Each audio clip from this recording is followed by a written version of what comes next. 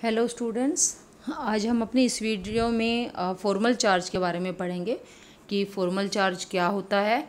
तो formal charge के बारे में मैं सिंपल सा पहले बताऊँगी कि ये होता क्या है। इसकी डेफिनेशन हम बाद में देखेंगे क्या होती है। फॉर्मल चार्ज जो है, आप जैसे देखते हो कि कोई भी मोलिक्यूल का फॉर्मूला लिखा हुआ है आपका, किसी कंपाउंड का मोलिक्यूल का फॉर्मूला है।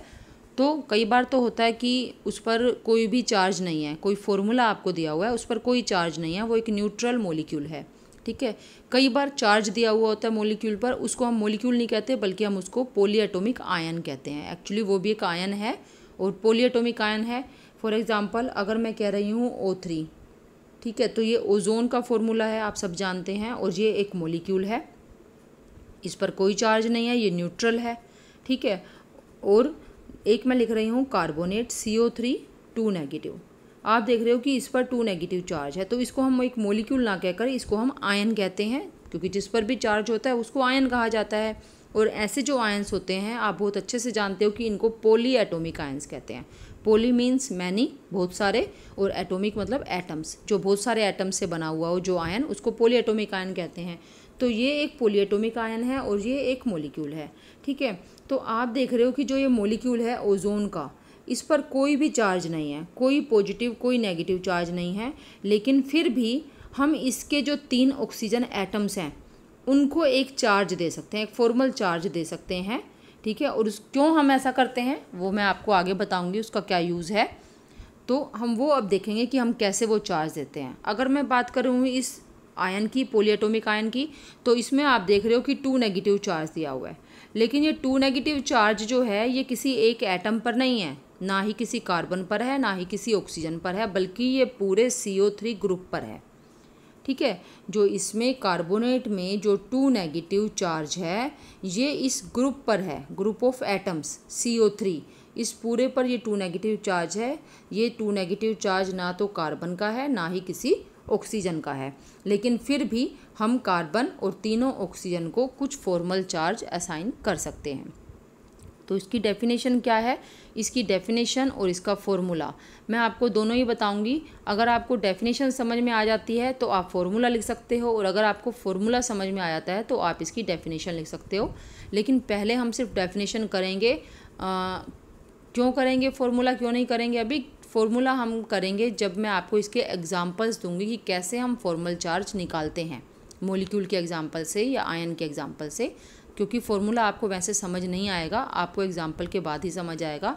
तो इसकी सिंपल सी जो डेफिनेशन है वो ये है कि फॉर्मल चार्ज में be defined as difference between the number of valence electron of an atom ठीक है, एक एटम जब फ्री स्टेट में आपको पता है कि हर एटम के कुछ वैलेंस इलेक्ट्रॉन्स होते हैं वैलेंस शेल में जो टोटल नंबर ऑफ़ इलेक्ट्रॉन्स एक एटम के होते हैं, उनको हम उसके वैलेंस इलेक्ट्रॉन्स कहते हैं।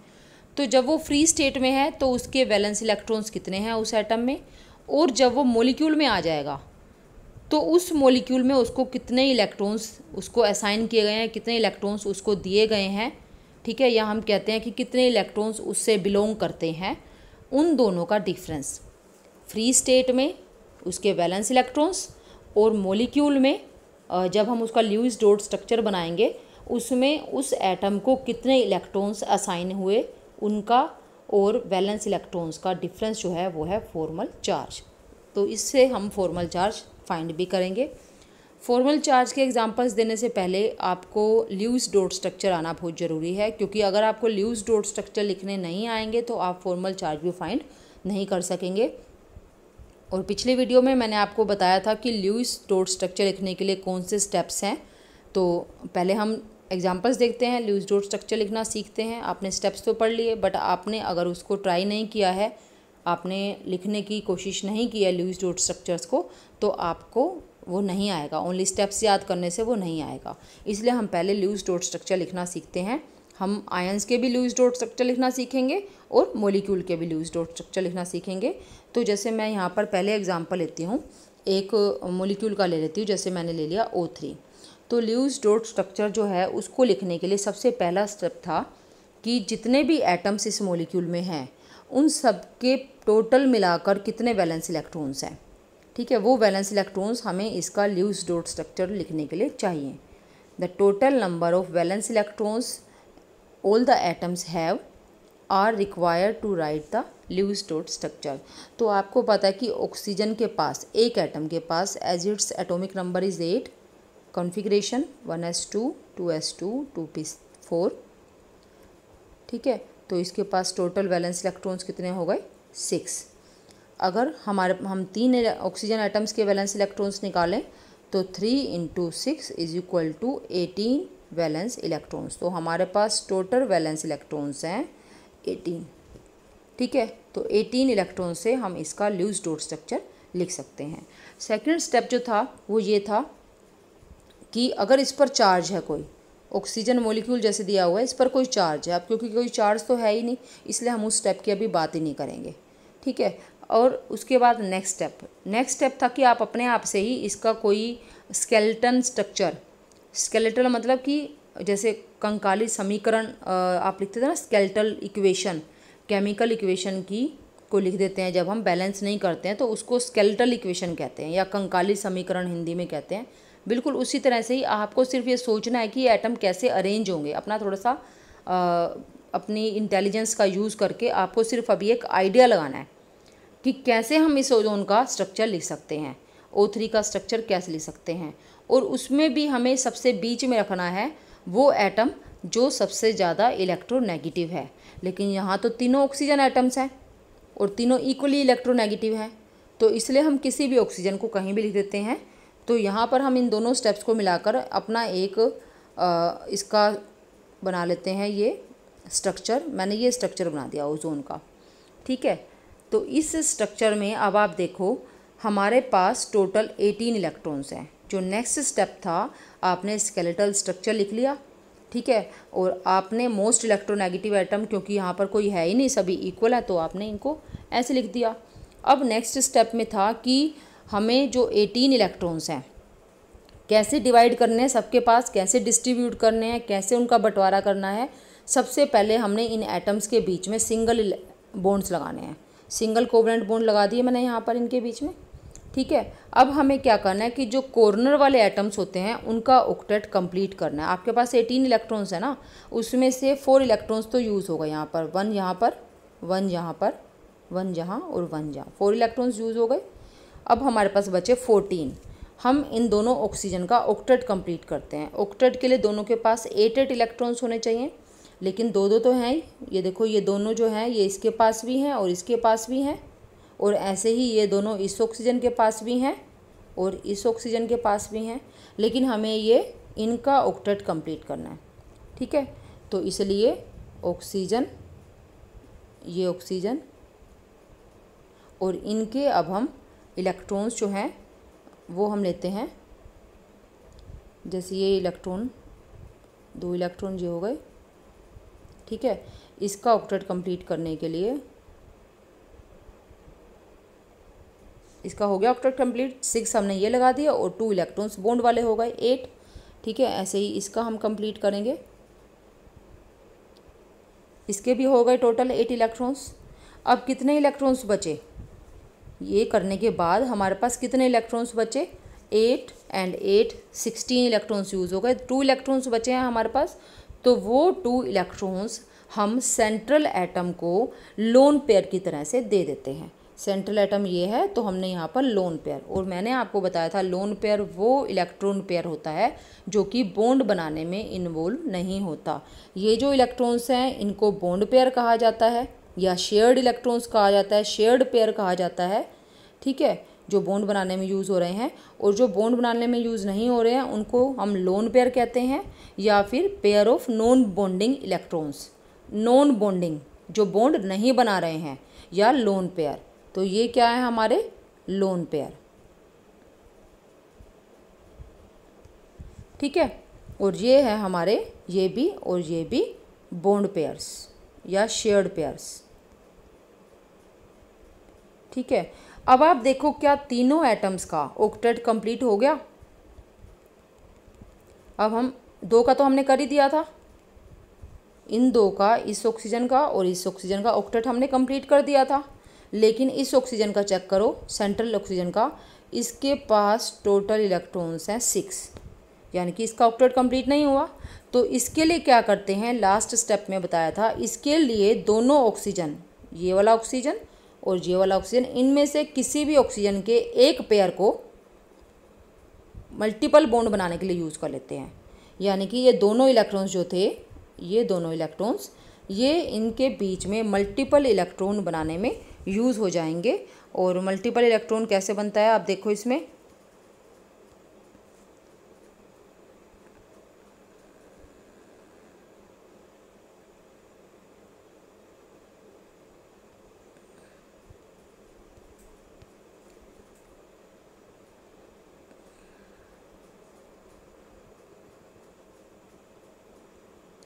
ये इसका ऑक्टेट हमने कंप्लीट कर दिया। सिक्स इलेक्ट्रॉन्स ये और टू ये। इसका भी हमने ऑक्टेट कंप्लीट कर दिया। क्योंकि इसके पास पहले देखो तीन लोन पेयर थे ना, लेकिन एक लोन पेयर यूज़ हो गया इस ऑक्सीजन के साथ बॉन्ड बनाने में। तो इसलिए इसके पास अब ये दो लोन पेयर रह गए और बाकी हो गए एट इलेक्ट्रॉन्स और इस ऑक्सीजन के भी एट इलेक्ट्रॉन्स कंप्लीट हो गए। ठीक है? तो इसका final structure Lewis dot structure है, उसको मैं दोबारा से लिखूँगी। ये ऑक्सीजन डबल बॉन्ड ये सिंगल बॉन्ड यहाँ एक ऑक्सीजन यहाँ एक ऑक्सीजन और इसके पास एक लोन पेयर इसके पास तीन लोन पेयर और इसके पास दो लोन पेयर ये लोन पेयर आप कहीं भी लगा सकते हो, ठीक है? और ये जो बॉन्ड है डबल बॉन्ड ये आप इन दोनों ऑक्सीजन के बीच में भी लगा सकते हो, इन दोनों ऑक्सीजन के बीच में भी लगा सकते हो। ठीक है? तो क्योंकि तीनों ऑक्सीजन सेम है और दोनों कॉर्नर वाली ऑक्सीजन सेम है, इसलिए आप किसी भी ऑक्सीजन और सेंट्रल ऑक्सीजन के बीच में डबल बॉन्ड लगा सकते हो। ठीक है? ये इस तरह से हम एक मोलिक्यूल का ल्यूज डॉट स्ट्रक्चर लिखते हैं। अब मैं इसी से ही आपको फॉर्मल चार्ज कैसे निकालेंगे? फॉर्मल चार्ज हम तीनों का अलग अलग निकालेंगे। उसके लिए मैं इसको दे देती हूँ नंबर वन इसको दे देती हूँ नंबर टू इसको दे देती हूँ नंबर थ्री क्योंकि ये तीनों सेम है तो हमें इनकी नंबरिंग कर देते हैं कि हम फ़र्स्ट का कैसे निकालेंगे सेकंड का और थर्ड का कैसे निकालेंगे। तो फ़र्स्ट का निकालने के लिए आप देखो कि पहले हमें इसके वैलेंस इलेक्ट्रॉन्स कितने हैं। वैलेंस इलेक्ट्रॉन ऑक्सीजन के सिक्स होते हैं, हमें पता है। माइनस इस स्ट्रक्चर में, इस पूरे ल्यूज स्ट्रक्चर में इस ऑक्सीजन को ऑक्सीजन फ़र्स्ट को कितने इलेक्ट्रॉन्स मिले हैं, देखो। दो तो ये हो गए लोन पेयर यानी कि दो इलेक्ट्रॉन एक ये लोन पेयर है ना, यानी कि दो इलेक्ट्रॉन, एक तो ये माइनस कर दिया। माइनस कितने बॉन्ड हैं इसके? तीन बॉन्ड बना रहे ऑक्सीजन वन जो है, वो तीन बॉन्ड बना रहा तो तीन बॉन्ड में टोटल छः इलेक्ट्रॉन्स हैं, लेकिन इसको मिलेंगे आधे, क्योंकि बाकी आधे तो दूसरे आइटम्स के हैं। यानी कि छः का आधा हो गया one by two into six ये हमारे पास आ जाएगा six minus two minus three is equal to one ठीक है? वन के आगे कोई साइन है? नहीं है। इसका मतलब ये पॉजिटिव है। तो जो फ़र्स्ट ऑक्सीजन है, इसको मिल गया पॉजिटिव चार्ज ठीक है? ये फॉर्मल चार्ज है। एक्चुअली इसके पास नहीं है बट हम इसको फॉर्मल चार्ज असाइन कर रहे हैं आप। ठीक है?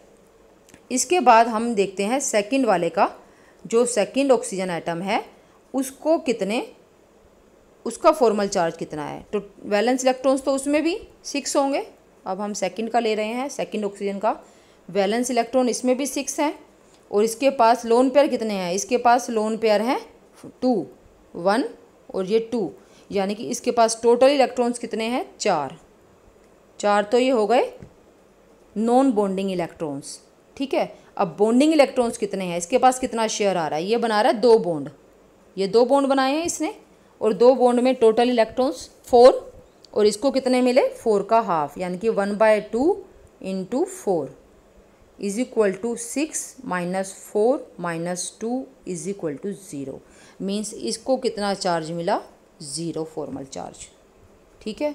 आपको ये समझ आ गया?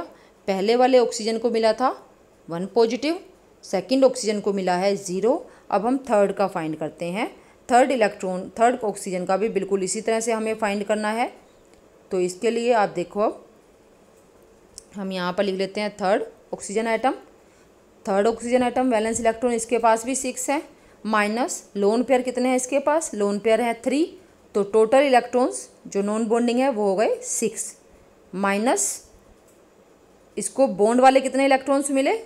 ये दो थे. एक ही बॉन्ड है और एक बॉन्ड में कितने इलेक्ट्रॉन्स होते हैं? टू तो इसका हो गया six minus six minus one is equal to minus one तो इसको मिला थर्ड ऑक्सीजन को फॉर्मल चार्ज मिला है माइनस वन तो हमने तीनों को इस तरह से चार्ज दे दिया फॉर्मल चार्ज ये इस तरह से अगर मैंने इसको ऐसे बनाया मैं लूज डोट स्ट्रक्चर नहीं बना रही हूँ, वो आप अपने आप बना सकते हो, ठीक है? जब आप सीरीज़ में करोगे स्टेप्स में करोगे तो सारे स्ट्रक्चर्स आपके पास रहेंगे, आपको किसी स्ट्रक्चर को हटाने की ज़रूरत नहीं है। ठीक है? तो हमने क्या फाइंड किया? जिसके पास डबल बॉन्ड था, उस ऑक्सीजन को मिला था zero charge zero formal charge जो सेंट्रल ऑक्सीजन था, उसको मिला था प्लस वन फॉर्मल चार्ज और जिससे सिंगल बॉन्ड था, उसको मिला था माइनस वन फॉर्मल चार्ज ठीक है? इस तरह से हमने इसका फॉर्मल चार्ज तीनों एटम्स का फाइंड कर लिया ऑक्सीजन मोलिक्यूल ओजोन मोलिक्यूल में. ठीक है? अब हम करते हैं किसी पोलीएटोमिक आयन का. पोलीएटोमिक आयन का पहले हम ल्यूइस डॉट स्ट्रक्चर लिखना सीखेंगे, फिर हम उससे उसका जो फॉर्मल चार्ज है हर एटम का वो फाइंड करेंगे।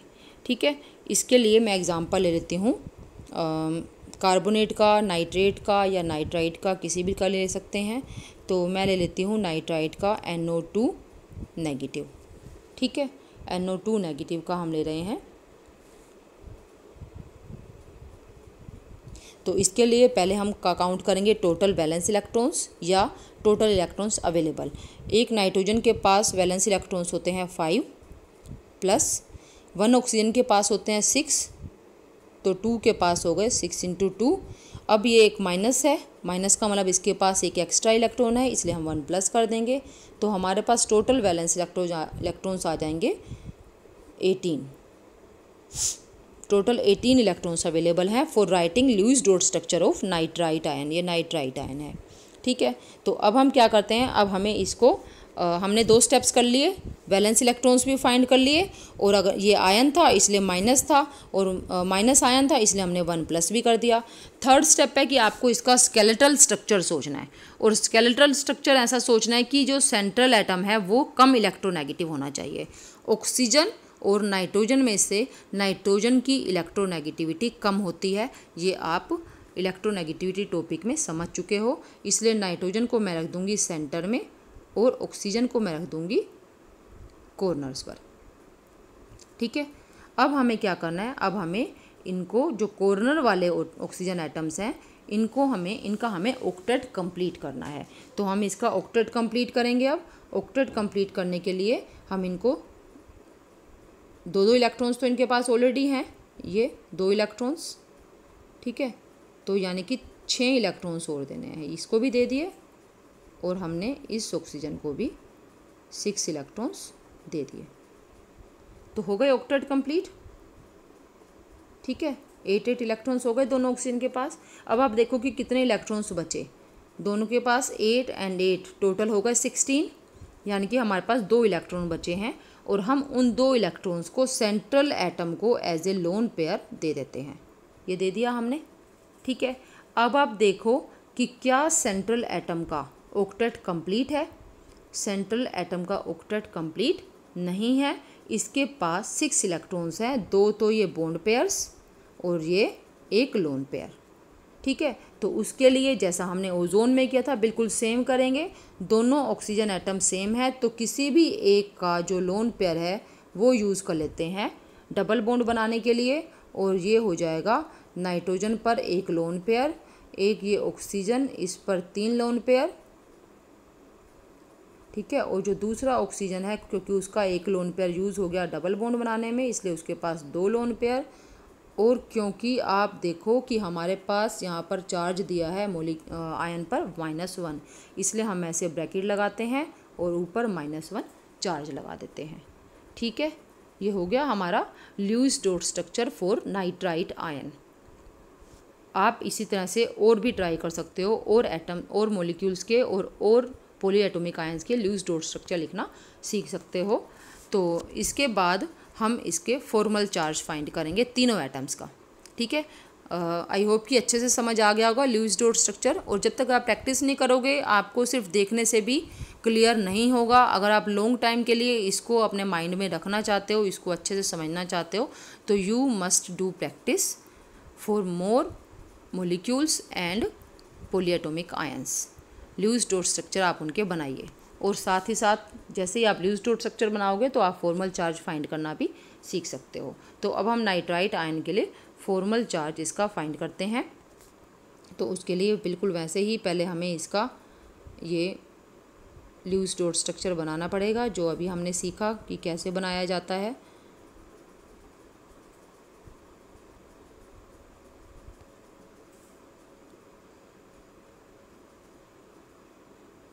ये इसके हो गए।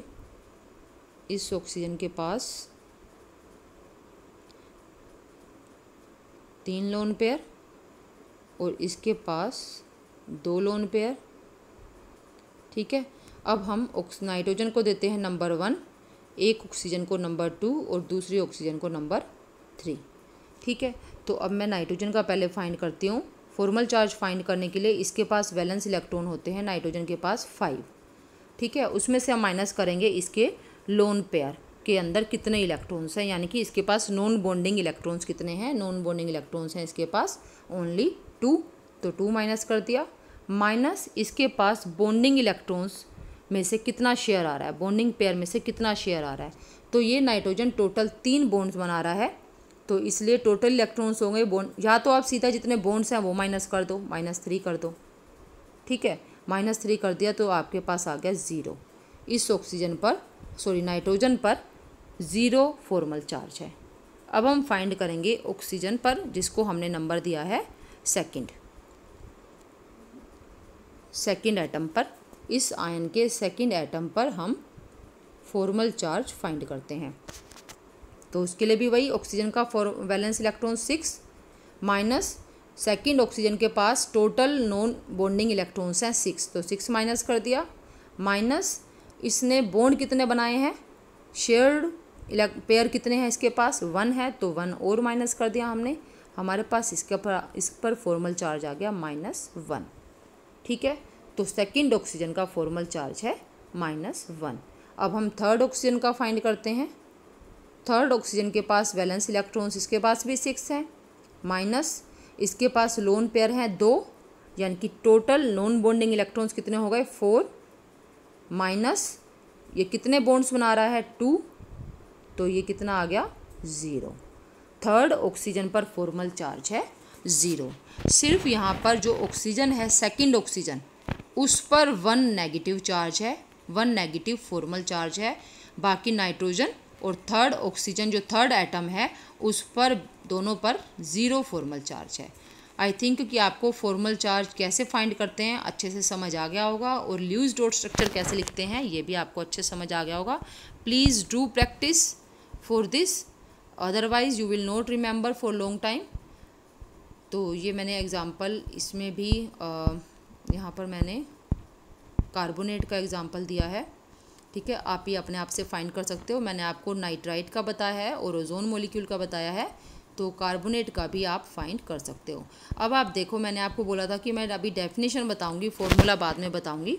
फॉर्मल चार्ज का अब आप फॉर्मूला देखो क्या हमने ये अप्लाई किया फॉर्मल चार्ज फाइंड करने के लिए।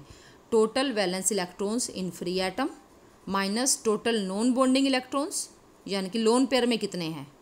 लोन पेयर नहीं लोन पेयर में इलेक्ट्रॉन्स कितने हैं? नॉन बॉन्डिंग इलेक्ट्रॉन्स तो सभी हुए ना वो? Minus one by two total number of bonding electrons या फिर वन बाय टू अगर नहीं लिखना चाहते आप तो माइनस सीधा बॉन्ड पेयर्स। ठीक है? तो आप फॉर्मूला इसको, क्योंकि एक्चुअल फार्मूला वैसे यही है, इसलिए अच्छा रहेगा कि आप इसी को ही याद कर लो एज इट इज़ जैसा ये दिया हुआ है। ठीक है? Total balance electrons in free atom minus total non bonding electrons minus one by two total number of bonding electrons इस तरह से आप फॉर्मल चार्ज फाइंड कर सकते हो किसी भी ल्यूज स्टोर स्ट्रक्चर में। अब है इसका सिग्निफिकेंस क्या है फॉर्मल चार्ज का? फॉर्मल चार्ज का सिग्निफिकेंस मतलब कि क्या इसकी एप्लीकेशन है या क्या इसकी इम्पोर्टेंस है? इम्पोर्टेंस ये है कि अगर आप फॉर्मल चार्ज दिखा देते हो एटम्स पर लूज डॉट स्ट्रक्चर्स में तो इससे आपको ये पता लगा सकते हो आप कि लोएस्ट एनर्जी स्ट्रक्चर कौन सा है। आप फ़र्स्ट चैप्टर से करते आ रहे हो स्टार्टिंग से ही आपको मैंने बताया है कि minimum energy means maximum stability तो लोवेस्ट एनर्जी स्ट्रक्चर जो होगा, वो सबसे ज़्यादा स्टेबल होगा। ठीक है? तो जो फॉर्मल चार्ज का कंसेप्ट है ल्यूज डोर स्ट्रक्चर में, उससे हमें ये पता करने में हेल्प मिलती है कि अगर हम एक मोलिक्यूल के कई सारे स्ट्रक्चर्स बना सकते हैं तो उनमें से सबसे स्टेबल कौन सा है? सबसे कम एनर्जी वाला स्ट्रक्चर कौन सा है? तो अभी आपको सिर्फ़ इतना ही करना है, आपको ज़्यादा नहीं जानना है। मैं आपको सिर्फ़ इतना बता देती हूँ कि पॉइंट्स बता देती हूँ सिर्फ़ कि कैसे आप पता लगा सकते हो कि लोएस्ट एनर्जी स्ट्रक्चर कौन सा है। लोएस्ट एनर्जी स्ट्रक्चर वो होगा एक तो जिसमें मैक्सिमम एटम्स पर ज़ीरो फॉर्मल चार्ज होगा। अगर आपने एक ही मोलिक्यूल के दो या दो से ज़्यादा स्ट्रक्चर बनाए हैं, आपको समझ नहीं आ रहा कि कौन सा होगा। ये भी हो सकता है, ये भी हो सकता है, ये भी हो सकता है। तो आप उन सभी में एटम्स पर फॉर्मल चार्ज फाइंड करो। ठीक है? फिर आप देखो कि उनमें से कौन सा स्ट्रक्चर है जिसमें मैक्सिमम एटम्स का फॉर्मल चार्ज ज़ीरो है। सेकंड थिंग उनमें से कौन सा स्ट्रक्चर ऐसा है कि जिसमें इलेक्ट्रोनेगेटिव एटम को ही नेगेटिव चार्ज मिल रहा है।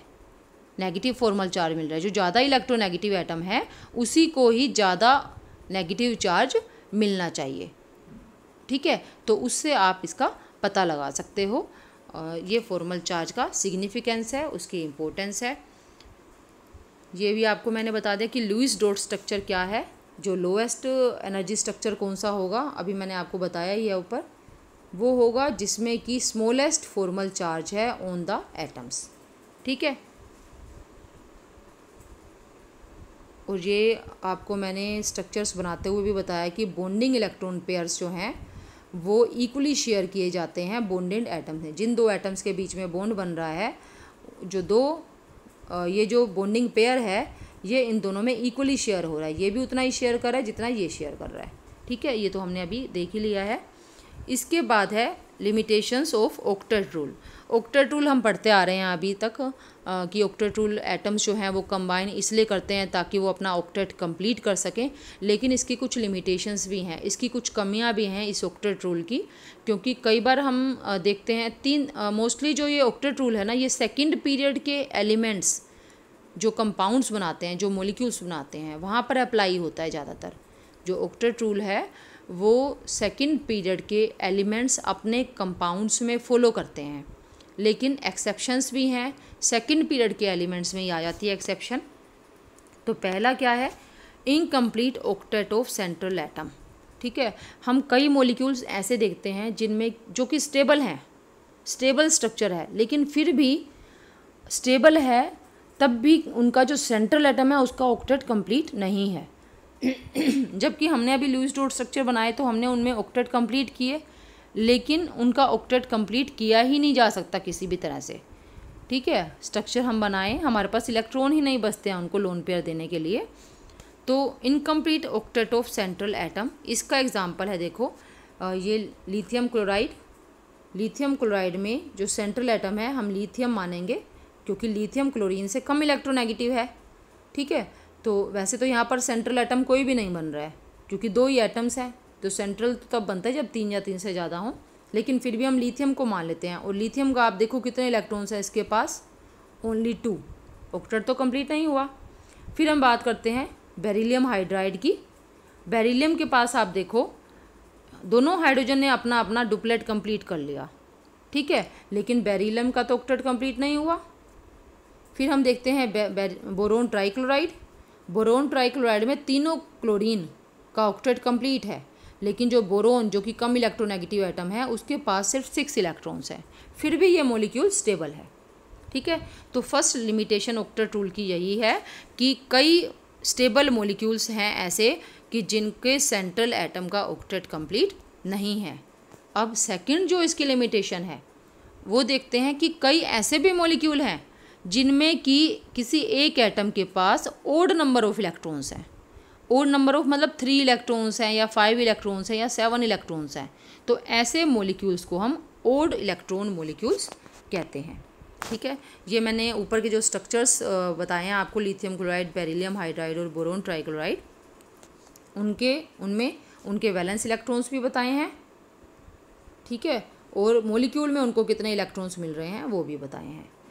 तो ये ज़्यादातर आपको एक चीज़ यहाँ पर इम्पोर्टेंट पॉइंट है, ये याद रखना है कि जो ये वाला ये वाली लिमिटेशन है incomplete octet of central atom ये ज़्यादातर उन कंपाउंड्स में होती है जिनमें कि सेंट्रल उन कंपाउंड्स में होती है जिनमें कि सेंट्रल एटम के पास चार से कम वैलेंस इलेक्ट्रॉन्स हैं, यानी कि फोर से कम वैलेंस इलेक्ट्रॉन्स वाले जो सेंट्रल एटम ऐसे मोलिक्यूल जिनके सेंट्रल एटम के पास फोर वैलेंस इलेक्ट्रॉन से कम इलेक्ट्रॉन्स हैं, वो ऐसा लिमिटेशन शो करते हैं, ठीक है? और इसके बाद odd electron molecules in some molecules all the combining atoms do not have eight electrons each ठीक है? सभी के पास आठ आठ इलेक्ट्रॉन्स नहीं होते। इसका एग्ज़ाम्पल आप ये देखो नाइट्रिक ऑक्साइड एन ओ ठीक है? इसमें नाइट्रोजन के पास सेवन इलेक्ट्रॉन है तो ओड इलेक्ट्रॉन्स हो गए। इसलिए N O is odd electron molecule इसके बाद आप इनके ल्यू स्ट्रक्चर बनाकर देखना, ठीक है? आप देखना कि क्या किसी तरह से आप नाइट्रोजन का ऑक्टेट कंप्लीट कर सकते हो। और तब आप देखोगे कि नहीं कर सकते हम। ऑक्सीजन नाइट्रोजन के पास कैसे भी कर लें हम सेवन इलेक्ट्रॉन्स ही रहेंगे। फिर हम नाइट्रोजन डाइऑक्साइड का देखते हैं, ठीक है? नाइट्रोजन डाइऑक्साइड में नाइट्रोजन डाइऑक्साइड मोलिक्यूल गैस ठीक है? तो उसमें आप देखो, उसमें भी नाइट्रोजन के पास सेवन इलेक्ट्रॉन्स रह जाते हैं। एक लिमिटेशन ये हो गई, ठीक है? ऑक्टेट कंप्लीट नहीं है। और जो नेक्स्ट लिमिटेशन है, वो है कि आपने एक देखा कि सेंट्रल एटम के पास आठ से कम इलेक्ट्रॉन है। आपने ये भी देखा कि सेंट्रल एटम के पास ओड इलेक्ट्रॉन्स हैं। अब आप ये देखो कि सेंट्रल एटम के पास आठ से ज़्यादा इलेक्ट्रॉन्स हैं। मतलब उसने अपने ऑक्टेट को एक्सपेंड कर लिया, फैला लिया, बढ़ा लिया, ठीक है?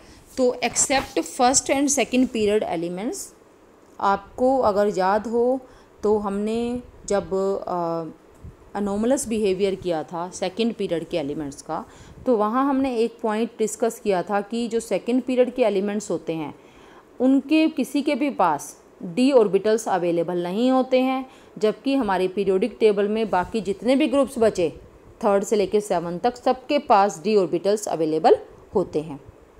ठीक है? तो वही चीज़ यहाँ पर है। एक्सपेंडेड ओक्टेट उन्हीं मोलिक्यूल्स में ही होता है जिनका सेंट्रल एटम ऐसा हो जिसके पास की डी ऑर्बिटल्स अवेलेबल हों।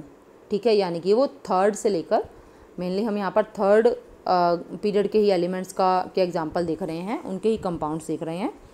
Except first and second period elements all other elements belonging to all other periods have d orbitals available for bonding ठीक है? Many compounds of these elements have more than eight electrons around their atom around their central atom यहाँ पर आप central भी लिख सकते हो। लिखना चाहिए central many compounds of these elements have more than eight electrons around their central atom and this is called expanded octet इसके एग्ज़ाम्पल हम देख लेते हैं। P F five phosphorus pentafluoride इसमें फास्फोरस ने पाँच कोवलेंट बोन बनाए हैं, पाँच फ्लोरीन के साथ। अगर आप फ्लोरीन के इलेक्ट्रॉन्स लगाओगे तो आप देखोगे कि फ्लोरीन के सभी पाँचों फ्लोरीन के ऑक्टेट कंप्लीट हैं। लेकिन फास्फोरस के पास कितने इलेक्ट्रॉन्स हैं? फास्फोरस के पास हैं टेन इलेक्ट्रॉन्स। ठीक है? ऐसे ही अगर हम बात करें सल्फ़र हेक्साफ्लोराइड की एस एफ़ सिक्स तो यहाँ पर हर फ्लोरीन का ऑक्टेट कंप्लीट है। They make single covalent bond with sulphur and complete their octet but in this uh, process sulfur gets 12 electrons total of 12 electrons. तो 8 से काफ़ी ज़्यादा इलेक्ट्रॉन्स उसके इनके पास हो गए। इसलिए इनका जो ऑक्टेट है वो एक्सपेंडेड ऑक्टेट कहा जाएगा। अब ऐसा नहीं है कि ये जो एलिमेंट्स ये जो एलिमेंट्स हैं फास्फोरस और सल्फ़र ये नॉर्मल कंपाउंड्स बनाते ही नहीं हैं। नॉर्मल मीन्स ऐसे कंपाउंड जिनका, जिनमें इनका ऑक्टेट कंप्लीट हो। ऐसे कंपाउंड्स भी ये बनाते हैं। फॉर एग्ज़ाम्पल सल्फ़र सल्फ़र का है एस सी एल टू ठीक है? इसमें इसका सल्फ़र का ऑक्टेट होता है ओनली जस्ट ऑक्टेट ये अपना कंप्लीट करता है। पी सी एल थ्री में भी फास्फोरस जो है अपना ऑक्टेट कंप्लीट करता है। आठ से ज़्यादा इलेक्ट्रॉन्स इसके पास नहीं है, ठीक है? लेकिन ये एक्सपेंड कर सकते हैं अपना ऑक्टेट आपको ये ध्यान रखना है। फिर ये तो हमने तीन लिमिटेशंस देखी और इसकी और ड्राबैक्स भी हैं। ठीक है? ये तीन तो हमने एक्सेप्शंस देखी हैं कि ऑक्टेट रूल जो है ना, उसके लिए अपवाद भी हैं एक्सेप्शंस भी हैं, लेकिन अब इसकी कुछ और कमियाँ भी हैं। पहले ये है कि according to octet rule noble gases जो है वो कंपाउंड बनाएँगी नहीं, क्योंकि नोबल गैसेज का ऑक्टेट तो कंप्लीट है और वो अपनी स्टेबल स्टेट में है, लेकिन नोबल गैसेज के भी कंपाउंड्स बनाए जा चुके हैं मेनली जीनोन और क्रिप्टोन के। तो आप देखो, ये बनाते हैं ये जो कंपाउंड्स बनाते हैं ना, ये फ्लोरीन और ऑक्सीजन के साथ बनाते हैं। इनके जो कंपाउंड्स बनाए गए हैं फ्लोरीन और ऑक्सीजन के साथ बनाए गए हैं, क्योंकि ये काफ़ी इलेक्ट्रोनेगेटिव एटम्स हैं।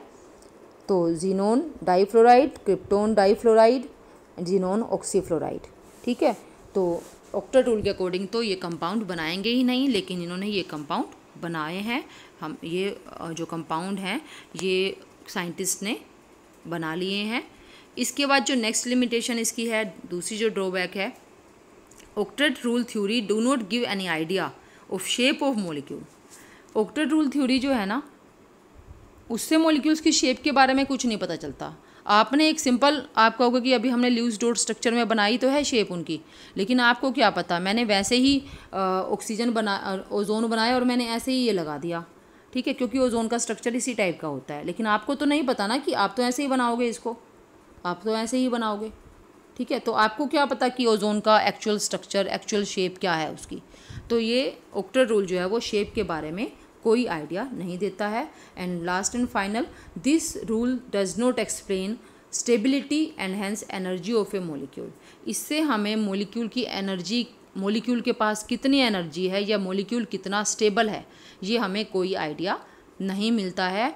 ल्यूज डॉट स्ट्रक्चर जो हमने बनाए, फॉर्मल चार्ज असाइन करके हमने सिर्फ़ ये देखा कि जो पॉसिबल स्ट्रक्चर्स हैं उस कंपाउंड के, उनमें से सबसे स्टेबल कौन सा होगा? वैसे तो हमें उसकी स्टेबिलिटी के बारे में कुछ भी नहीं पता, उसकी एनर्जी के बारे में कुछ नहीं पता, ठीक है? तो ये ओक्टर रूल की लिमिटेशंस हैं। आप इसको अच्छे से करें तो मैं आपको ये एडवाइस दूँगी कि आप लूज डॉट स्ट्रक्चर्स ज़रूर बनाने की प्रैक्टिस करें और साथ ही साथ उनके फॉर्मल चार्ज भी फाइंड करें, उनके अंदर जो एटम्स हैं तो उससे आपकी प्रैक्टिस काफ़ी अच्छे से हो जाएगी और आपको वो हमेशा के लिए याद रहेगा। तो इस वीडियो में इतना ही ओके